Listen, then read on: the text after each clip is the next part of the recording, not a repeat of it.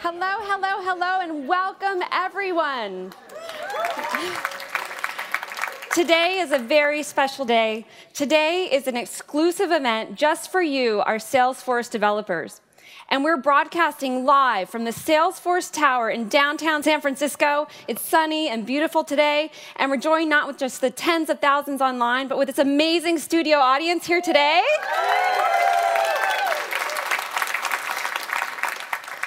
And I want to inspire you, motivate you, educate you today. But the most important thing I want to do is thank you. Thank you to all of our admins, our developers, our community group leaders, our MVPs, our partners. Thank you for all that you do to inspire us and drive us to continue to deliver innovation to you. Today, we're not just like talking to you all online, we're out in Twitter sphere, we're out in social, and I think we have Codey the Bear. What is Codey doing over here? Codey's going to take over our at Salesforce Devs Twitter handle for the day. And we want all of you to tweet because it's a new year. We have new product innovations. So we want you to set new code goals and we want you to share them with each other and help you achieve them. So tweet with us live during the show today and we'll have some interaction and fun. And as you're doing that, know that you're joining as part of an amazing and incredible community of developer trailblazers. Over five. Everybody here is excited. Over 5 million registered trailblazers around the world in over 50 countries and 240 community groups which gather together regularly to help each other learn and understand the Salesforce platform. And Salesforce is connected and dedicated to delivering innovation to you. We've been delivering modern developer services since the inception. If you rewind back a little bit in history, look at like 2005, AppExchange was the first enterprise app store. Apex, the first serverless runtime. You keep going, Force.com, the first platform as a service. That was incredible transformational things for you as developers. We had collaboration, mobile, reinvent learning with Trailhead, make that free. DX, incredible developer experience, Einstein AI platform events so integration's easier. And if you're really detail oriented, like Adam Olshansky's probably looking at me saying, You missed one in there. You missed one, Sarah. I missed talking about Lightning.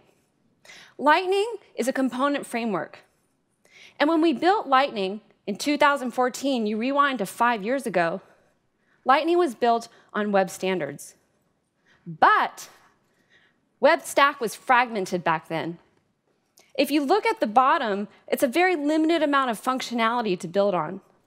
So Lightning built its own component model, its own things, which was great because it was value for you. But the problem then was that as developers, there was different syntax. The frameworks really became the language. And that was hard as developers, and your skills weren't portable. So fast forward to 2019, where we're at today, and the web stack looks very different. And that bottom foundation is much more complete. And we've seen game changing web standards emerge. So, what you have on top now is a thin layer of specialized services that frameworks can create. And that's why today I'm very excited to introduce to you Ryan Ellis and the product and engineering and UX teams have delivered Lightning Web Components.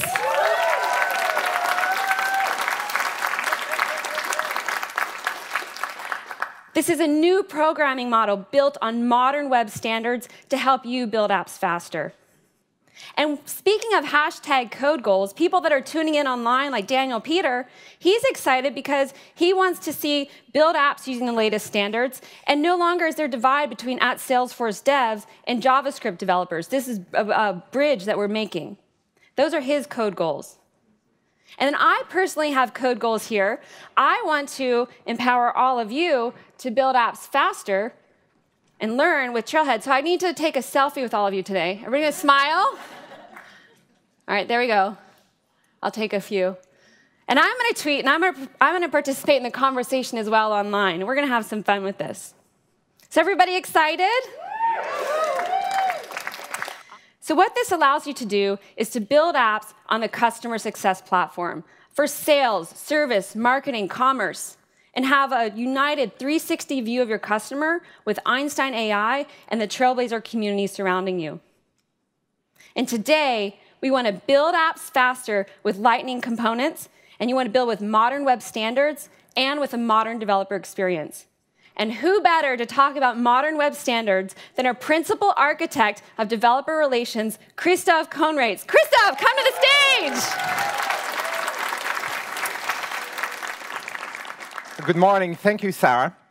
Um, Stefan was a member of the pilot program, and he really says it best. Lightning Web Component is a game changer because it's built on game-changing web standards. And today, we're going to talk about three things that are really key to Lightning Web Components. We're going to talk about productivity, performance, and interoperability. And we'll start with productivity. With Lightning Web Components, you're really using the latest advances in modern web standards. So you're using things like ECMAScript classes, ECMAScript modules, but also things like custom elements and standard templates. But on top of that, we made it easier than ever to access your data and your metadata using JavaScript decorators like @wire, and I will show that to you in the demo in a moment. And you definitely get productivity through a library of over 70 UI components that are metadata aware, the base Lightning components. Now, Lightning Web Components are also designed for performance. And that is because when you're using the full web stack that Sarah's talking about, the 2019 modern web stack, you have a lot more code executed natively in the web engine, more code executed in the browser, and less framework code executed in JavaScript. And that makes a huge difference. We'll take a look at it, and you can measure it using tools like the Chrome DevTools, and we'll do that in a second in the demo as well. And finally, Lightning Web Components are designed to work with the code you already have. So first, you can embed Lightning Web Components inside Aura components. They can communicate through their public APIs or events. And finally, behind the scenes, they actually leverage the exact same underlying services. So things like the Lightning Data Service, same thing. Locker Service, same thing. Base Lightning components, the same ones. You know what? Enough slides. Let's look at some code. Yeah, code. and we'll start here in the sample gallery. We actually have six full-blown sample applications for Lightning Web Components, and we'll cover two of them today. And I will start in Lightning Web Components recipe. So why don't we go ahead and please give it up for Renee and Heather, who are driving the demos today. All right. Okay, so we are in recipes here, and I clicked the tile, and that took me straight to GitHub, where all of you can look at the code and install all these uh, applications in your own environment. But now, let's see these recipes in action. All right, so every card that you see on the screen here is a recipe. So that's a targeted code example, 30 lines of code or less focusing on a specific task. And at the top, you see that they are organized by category. For example, Apex, data service, and more. All right, but let's start simple. Let's go back to the first tab, the Hello tab, and we'll look at that Hello binding recipe. This one is super simple. It displays a greeting message that you can change by typing something in that input field. Very simple, but a good place to start to learn more about the syntax of Lightning Web Components. So let's go look at the code. So as I mentioned before, this is all about web standards. And it starts here with ECMAScript modules that you import using standard ECMAScript syntax. Now, Lightning Web Components also use ECMAScript classes, like here, hello binding. And these classes have properties, like greeting here, that we initialize to world. Now, if you look at that property, you, will notice that it's annotated with at @track. That is a JavaScript decorator. Decorators are an emerging JavaScript standard that Salesforce is actually contributing to. Now, this specific decorator tracks changes, and it makes the property reactive. In other words, every single time greeting changes, automatically the view will be updated.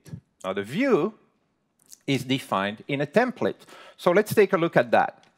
So here is the template, and here again, we are using the standard template tag, which is part of the custom element specification. So once again, everything here is standard. And if you want to bind a property, you use the double curly syntax here. Now, if you're currently using Lightning components, the great news is that all the base Lightning components, like here Lightning Card, for instance, are exactly the same. Not only that, but from the IDE here, you can actually access the component library to learn more about this specific component or any of the 70 plus base Lightning components that are available. This is pretty cool. But there was one more thing that I wanted to show you about the Hello binding recipe. So let's get back to it and inspect the DOM. Yes, let's do that. All right, and here you see something really new. See hello binding. No, this is not a new HTML tag. What's happening here, that would be a weird one. What's happening here is that when you create a Lightning Web component, you're actually creating a custom element, that web standard. And that is really, really great because it makes the DOM easier to read, easier to debug, everything is encapsulated, and it really matches what you're doing at development, at development time. Really great. Okay, so let's look at another recipe, and this one is all about productivity and performance. We're going to see how to access data, which is something that you always need to do. So in this recipe, I can search for a contact, and behind the scenes, this is powered by an Apex method. So let's take a look at the code and see how this is implemented. And we start here in the Apex controller. And as you can see, we have a method called find contacts it takes a search key parameter, and it's implemented with a simple SOQL statement. Now, also notice that the method is annotated with cacheable equals true. Remember that, because I'll tell you more about that in a second. But for now, how do you, how do you use an Apex method in a Lightning Web component? Well, let's take a look. Here again, you can use the ECMAScript module syntax to import an Apex method. That's really great. And when you do that, you can then use another JavaScript decorator here at wire to wire the method to a property, contacts. Okay? And not only that, but the search key uh, parameter that you see here is also reactive, which means that every time search key changes, the method is automatically reinvoked. So how many lines of code to access your Apex method or to access your server-side data? I'll call that one, or maybe, maybe two. Let's say two. OK, all right. All right, there was one more thing that I wanted to show you about this recipe, and for that, let's go back to the browser, and once again, we'll um, inspect the DOM, we'll bring up the Chrome DevTools on the Network tab because we're going to look at performance. So I'm going to look for a contact named Michael. Let's do that. All right, here is Michael. If you look at the bottom there, you see that it took 90 milliseconds for that request. That's pretty good. Now let's look for another contact, let's say Rosa. Here is Rosa, and you see that at the bottom, it took um, 85 milliseconds, so pretty consistent. Now let's clear the console and search for Michael again. Click search. You see Michael. And at the bottom, in the network traffic, what do you see? Nothing. And that is by design. And that is great because in this case, we didn't make any request to the server. And that is because the response was served from the cache. And that's what that cacheable equals true annotation was all about. And that is one of the many things we do in Lightning Web Components to deliver awesome performance. Yeah.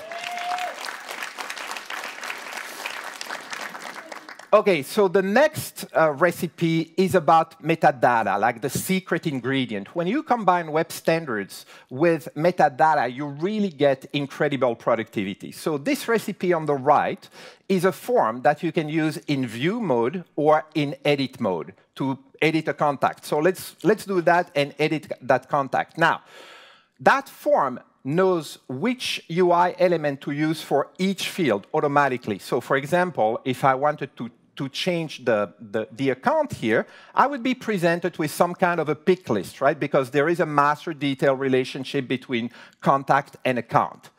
All right, so it's a simple form, yet pretty powerful. View mode, edit mode, automatically knows which UI element to display, and it can even perform data validation. So let's take a look at the code and see what's involved to actually build something like that. And here, we will start in the template. And you see that we are using another base Lightning component, Lightning Record Form. And because it is metadata aware, all you have to do is to specify the list of fields that you want to see in that form. You don't have to specify individual controls for each field in the form. It's done automatically because of metadata. Now, where do you define that list of fields? In the JavaScript file for that component. So let's take a look at that. And here you see something new and a key differentiator. You can now import static schema elements, like in this case, we're importing the fields that we want to see in the form. And this is a huge win because it gives you referential integrity. In other words, and I'm sure nobody ever does that, but if I wanted, if I tried to use a, um, a field that didn't exist, I would have a development time error instead of the user getting a runtime error, which I think is better, right? and also, yay! And also, nobody will ever be able to delete a field or an object that is used in code because now it is part of the metadata. Yeah. yeah.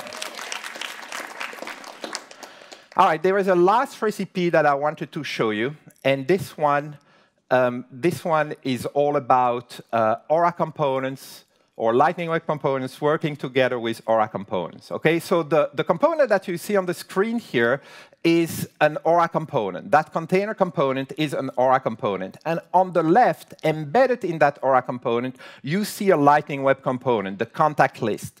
And they communicate with each other. So, for example, if I select a contact here in the Lightning Web component, the Aura component shows me the details. Great. So how do you embed a Lightning Web component in an Aura component? Let's take a look at the code. And here, we'll take a look at the code for the Aura component. And you notice that to embed the contact list, all I had to do was to use the contact list tag.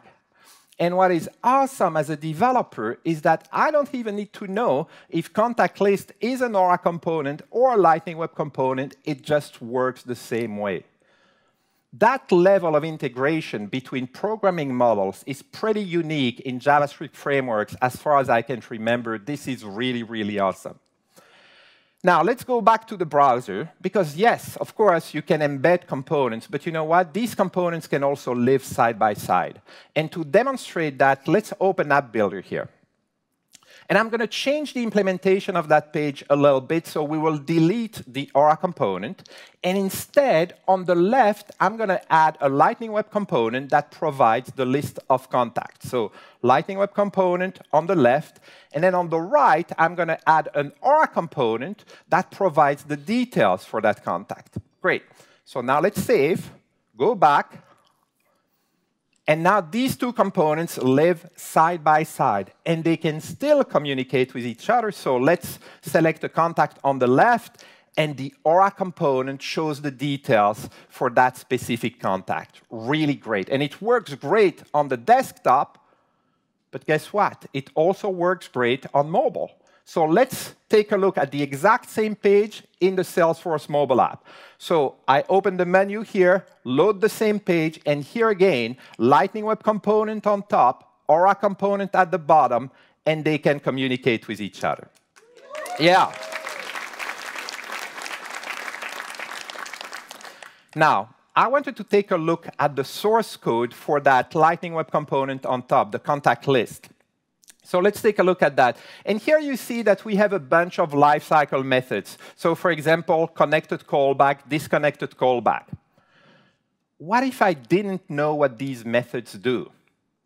Well, I could look in the Salesforce documentation, of course, but now all of this is web standards. So what we're going to do here, we're going to copy this in the clipboard, connected callback, and just Google it. We're going to Google connected callback and see what happens. Well, not surprisingly, the first result that I see comes from the Mozilla Developer Network, which is kind of the reference for JavaScript documentation. And here I am. I learned that it's part of the custom elements specification, so that web standard again. And if I look down for connected callback, here I am. I will learn everything I ever wanted to know about connected callback. In other words, I'm getting my answer to my Salesforce question in a JavaScript community website or forum. That is awesome, and that is how you build applications fast with a modern programming model. Back to you, Sarah. Okay, that was just incredible. I was sitting there and I was like, okay, mind blown, right? That was incredible. And I think all of you online as well were just really enjoying this. If we look like Radhika, who here knows Radhika? Yeah, everybody does. She's incredible. She's excited to manipulate the DOM via HTML, via Lightning Web Components. It's very exciting. And then we have more code goals online. We also have um, Salesforce Jenny. She's excited to make a new app, and not just make the app, but also teach the community how to do this with Lightning Web Components. Leah's over here giving some BAM love. BAM! All right, well, it's not just about building with modern web standards, it's also about building with a modern developer experience. And who better to help us learn more than our very own principal developer evangelist, Zayne Turner. Zayne! Thanks, Sarah. Hey, everybody. Who's ready to talk tools? Are you ready? Yeah, we're going to get nerdy about the tooling. And I want to start by talking about Dory, who's here in the audience today. And when we talked about Salesforce DX, she works with nCino. And nCino was part of the pilot, but they also are building apps for the App Exchange. And so they need tools that give them the flexibility to focus on business value and driving results forward, not focusing on setup. And that's where we're going to talk about a Salesforce DX. Salesforce DX helps you build modern apps faster by giving you a modern developer experience. It accelerates developer productivity, it works with your favorite tools, and it works with any org. So that's what we're going to look at. So, what do I mean when I say that Salesforce DX accelerates developer productivity? Well, I mean that whether you choose to use Visual Studio Code or you choose to use Illuminated Cloud, you can choose the state of the art IDE that makes sense for you and do your Salesforce development work. And when you're doing your Salesforce development work, you're going to benefit from powerful language services that we're building into our tooling. So you're going to get things like IntelliSense, I'm talking code completion, and hinting, and other tips as you're writing your code to make you more efficient. And not only are you getting more efficient, you're getting better. You're going to know that the code you're writing is higher quality and more reliable sooner in your development cycle. You're going to be able to debug locally and test locally, which we're going to look at. And all of this means that you get to do more as you're doing what you already do today. What do I mean when I say that Salesforce DX works with your favorite tools? There's a lot going on here. It means that whether you're using one of the builders that we provide for you, say under setup, app builder, or schema builder, or you're writing code in one of the IDEs we just talked about, all the way to how you choose to run your tests, whether those are your Apex tests or JavaScript tests using maybe a framework like Jest, which we're going to look at, on to how you choose to deploy using one of our APIs, building with change sets, or using the new packaging technology. No matter what you're choosing to do, wherever you are in your build cycle, Salesforce DX has tooling that works with what you're using. And Salesforce DX works with any org. So whether your team uses the org development model to build in a sandbox and release incrementally to production, or your team is building with packages, using new environments like Scratch orgs, and releasing an artifact to any environment with our new packaging technology, Salesforce DX lets you choose the method of release that makes sense for you. But it's one thing for me to be up here and to say this to you. I want to show this to you in a demo. So let's get into it. And thank you again, Heather and Renee, for driving us home. So we're starting here in the sample gallery again, and right next door to recipes is another one of our Lightning Web Components sample apps, the eBikes application. And this is a retail use case, and I want to hop right into an environment where we've configured this. So we're here, and we're actually in a sandbox, and we've installed the source code for eBikes. And this Product Explorer tab, as we can see in the center there, we have a list of products in a tile view format. And when you click on an individual tile, one of these bikes, we're going to get details there to the right. This is a pretty nice UI. It's interactive, I can see clearly what's happening. But what if I want to search by a specific price range? Or narrow down the list of products by material? We can't do that yet. And that's because we have work to do. So let's get into our IDE. So we're using Visual Studio Code, and we've installed not only the Salesforce CLI, but the Salesforce extensions for Visual Studio Code. So now we can do things like use the command palette to get a menu where we can quickly access the SFDX or Salesforce CLI commands here in a menu format. So I can quickly create a Lightning Web Component without having to memorize the precise command in the CLI if I don't want to. But we've actually started all of our components. So I'm going to still use the command palette. And now I'm just going to search within my project. And I'm going to go right to the product tile list. And we're going to open up that JavaScript file. So this is the controller behind that tile we are looking at in the middle of the, our Product Explorer page. And on line three here, we're importing an Apex method and that's controlling the list of products we're seeing. This get products method is controlling what items we're looking at. And Renee, let's hover over that get products. And you'll notice here, as we're talking about IntelliSense, I know that this Apex method has two parameters, filters and page number. And I know this without opening my Apex class. I don't have to go digging for it. I see it right here in my JavaScript. That's the power of language services, letting you be more productive. So now that we know the parameters we need to work with, let's go down a little farther. And you can see there on line 17, we're getting a little visual signal that everything is awesome with our code, right? Who doesn't love the red squiggle letting you know you're being awesome? Renee, can we get a little bit more detail here? And you'll see we pop out the integrated terminal, and next door to it is a problems tab. It's an integrated view letting you know what's going on in your code. And you can see that I have two things telling me that I'm being awesome. The Lightning Web Components language server itself and something called ESLint, a linting service, static code analysis for your JavaScript that we ship with our tooling as well to let you write cleaner code. And this is telling me that I'm using the wrong construction there on line 17. I want to send my parameters to my Apex method, and we need to do it the right way. So let's get rid of those square brackets, and we're going to put in the right syntax here. And now you can see we're just using JSON format. We're passing on our filters and our page number, and as Christophe showed us, it's responsive. So now that we're sending information to our Apex, we can save our changes here. And the next step is, of course, to get it back into our sandbox. And this time, I want to work directly with the CLI here in the integrated terminal, another way of working. It's actually my favorite way of working. And I want to run the SFDX force source deploy command right here. And we're using that M flag to pick the metadata we want to send up. So in this case, we're sending that Lightning component bundle we just edited. And as this command completes, we're going to get information back in the terminal that it made it to our sandbox. So I know right away whether or not I'm working with the right data. So let's go back into our sandbox, and we're going to edit this page. We're going to go into Lightning App Builder. And the first thing I want to do is if users should be able to filter products, we need to get the filter component on the page. And now that we have our filter component there, let's save the page, and let's see if the changes we made in our controller make that middle component respond when we filter products. So Let's go ahead and lower the price range here. We're going to narrow the kinds of bikes we want to see. Already, it's looking good. And now I just want to look for mountain bikes. Let's get rid of all the commuter bikes. Here we go. So it looks right, right? we went from 10 to 4. That seems good.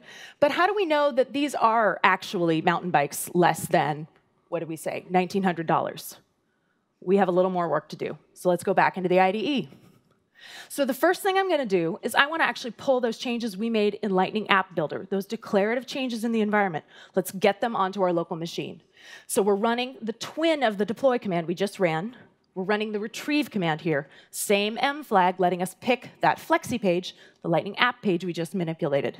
And again, we're going to get that feedback right here in the terminal about whether or not it came down. And now we know our environments are in sync, working with our sandbox right here with the CLI. So now that I have those changes, I want to know what's happening in my Apex, right? We want to know that the query is actually pulling mountain bikes with a certain price. And we're going to use another one of the Salesforce extensions to do that, the Apex Replay Debugger. And we're searching for Apex Debug here because the first step is to get a debug log. Now we can pull it down right here with a little command from our command palette, but we already have a debug log on our machine. So we're going to just launch the replay debugger with our last used log file. And now you can see we've already moved into the integrated debug section of Visual Studio Code. And on the left there, we're looking at an Apex execution log, right? We've probably all seen this before. But the magic of the replay debugger comes when you step into that log. So let's start. And now you can see on the left hand, the other side there, we're getting all the variables for our Apex method. And the debugger opened up our related Apex class. And we've stopped on line 32 with that little red dot because we set a breakpoint. As a developer, I could go into my Apex class, click next to the line number, and you're setting a breakpoint. And it tells the replay debugger to pause there and give you more information.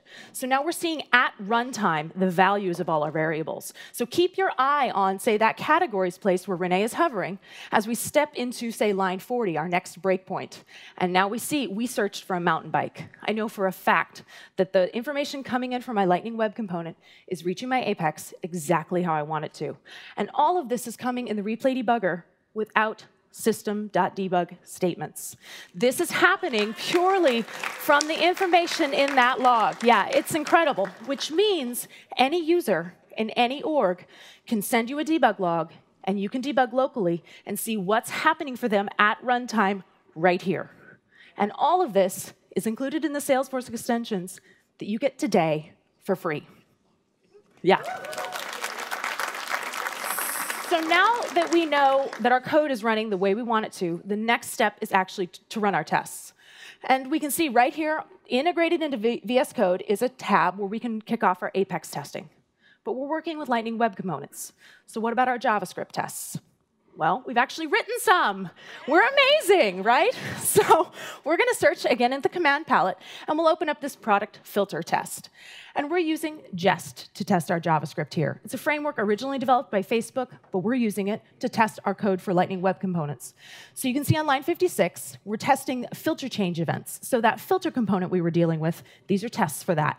And on line 57, we're checking the slider, that price slider. We want to know that it behaves the right way, that when you set a price as a user, that's what's hitting the controller. So Renee, let's run this test. And he just right-clicked and ran that test thanks to another extension that we can install from the marketplace that runs our Jest tests. And look, it's already run, and we're still being awesome. Our test has a little bit of a problem. And if we scroll up, the extension is going to tell us exactly what's wrong. And it's because we said that our expected price on line 58 would be 500. And then I typed on line 65 only 50 as the slider value. So let's have the user actually search for 500 in our test here now. And let's run this test again. And as this is running, you'll notice it's pretty speedy. And that's because Jest tests run locally. We don't have to wait for them to deploy to a remote environment and then execute and then fetch the results and bring it back down. We already know that we fixed our error. And so we know right now that our Lightning Web Components are ready to ship to the next environment, whether that's production or another sandbox, and we can do it all right here in our IDE. And all of this, that local testing, that local debugging, the IntelliSense giving you what you need as you need it, are how you can deliver modern apps faster with a modern developer experience. Back to you, Sarah.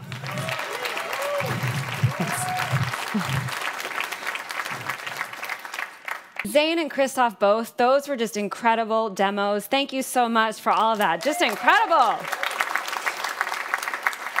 I'm gonna tell my daughters to watch the video and say, be like Zayne, you know?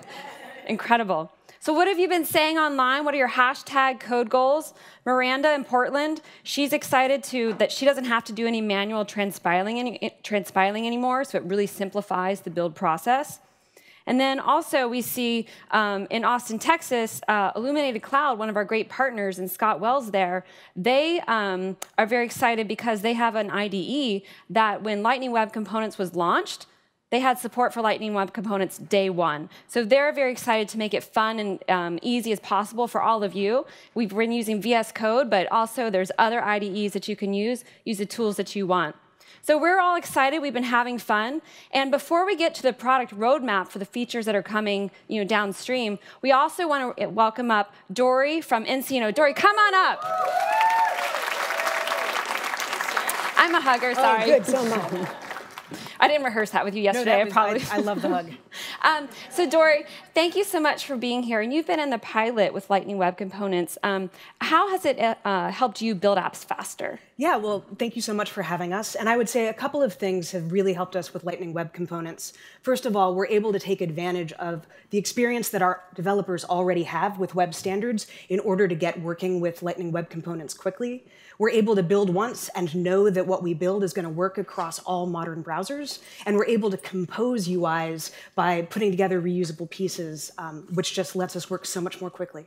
Well, so you've had the, thank you so much. You've had this experience. What advice do you have for everybody here and the tens of thousands online for Lightning Web Components? Uh, well, I would say just digging in, really don't be scared, dive in. Uh, luckily, there are so many resources available with the Trailhead modules to, to be able to take advantage of those. And then, you know, just getting familiar with the, the base components and see what you can build there and, and come up with a plan for how to take advantage of that as quickly as you can. Thank you so much. Thank you. A hug again. And thank, thank you, Sarah. Best to, um, send the best to Cassidy and the team. Thank, thank you so you. much. Bye. All right, so now you all want to know like what's on the roadmap, what's coming next. Ryan Ellis is sitting here. You can ask him later, but um, I'm going to share a little bit of sneak peek for you. So first, uh, running and lightning out is on the roadmap. That's a big one that people have asked for from the pilot program. And then the Lightning Event Service. So think of this as this is really incredible, and I hope I do this justice. Think of this like a pub sub framework that's built in for your for your UX. So whether it's an Aura component, whether it's a Visualforce, whether it's Lightning, you can have this easy way for all of the UX to, to interact. And then on the Salesforce DX side, uh, Wade and team have been working super hard, and Dave Carroll's sitting right here. Um, Scratch orgs and Pro Sandbox, being able to create snapshots of those. So why this is important is you think that you create your, um, your Scratch org, for example, and it has all the metadata and such in it, you get it configured well, you can very easily create a snapshot of that so you can have different configurations, so it's very easy for you to build apps fast.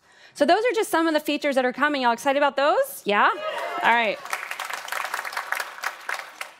Well, we wanted to make it very easy for you to get started because this is very important. So you saw the component library in Christophe's demo. That's a great reference material for you and tools to help you speed up your um, development. And then Trailhead, I'm favorite for that one, but we have um, two badges already, already released and four more badges that are coming on Monday. And then we have the sample gallery. Uh, you saw the recipes demo and the e-bikes demo. There's a whole gallery of apps there, and they've all been updated to have Lightning Web components. So those are incredible ways to get started with LWC. Today is just the beginning. So what we're starting off is kicking off Global Developer Week. And what this is, is starting Monday, all of those 240 plus groups around the world are getting together to help each other learn Lightning Web components. And if the camera can follow me a little bit, we, we, we make sure that all of, our, all of our events have like, you learn, you connect, you have fun. Have we had fun? All right. We've also been having fun. Y'all might not know this, but we've been, oh, they're, they're taped down. I, Uh, I can pick up one of them. Actually, Sandeep's son built this one. We've been having fun building Legos, getting into the you know Lightning Web Components uh, thing. And this one here is Buckingham Palace. But what we have here is San Francisco, Chicago, New York, Berlin, France, Paris, London, all kinds of cities because we're going around the world and we're excited. We've been having fun, but also giving back. Giving back is very important. So excited to share with you today that not only have we had fun building these, but we're donating them to our uh, adopted school, the Urban Promise Academy here in the um, Oakland Unified School District. And then at the Global Developer Week, for every community badge earned, we're donating a dollar to underprivileged children. So everybody,